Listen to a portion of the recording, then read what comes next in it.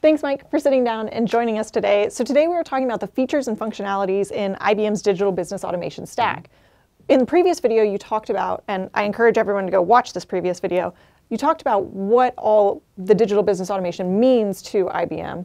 So let's talk about the features and functionalities today. Sure. So uh, there's four fundamental technologies that are part of digital business automation. There's our workflow technology, Workflow is a combination of things you'd think about historically in business process management and case management, integrate into one, sort of digitize all patterns of human work. There's decision management. Decision management is a rules-based technology so that you can describe in natural language, uh, you know, what kinds of decisions are supposed to be made, how do they work. And then the third component of it is uh, our content technology. And content technology allows you to store content, uh, add information about content, make it searchable, and then do all the governance and change management around it.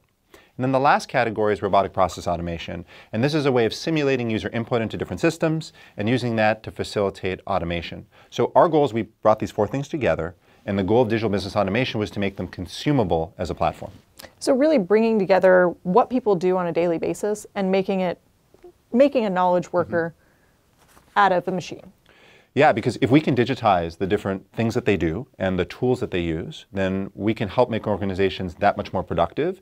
Productivity means they can better serve their customers, they can reach new clients, they can scale. So the goal again is to give them those key tools. Now, by the way, one of the key things I think to know is not only do we bring these things together, but we really did invest in making it a consumable platform. So we've actually created some things to make it simpler to do the administration of it, and we're introducing new features that actually allow you to take advantage of the data, and those are only available on the platform. And this way you can actually get end-to-end visibility, for example, into what the people are doing, and you can use that data to actually do things like machine learning, and that's going to unlock all kinds of new use cases around intelligence. That's very exciting. Well, thanks for sitting down with us today and talking about the features and functionality in IBM's digital business automation stack. Thank you for having me.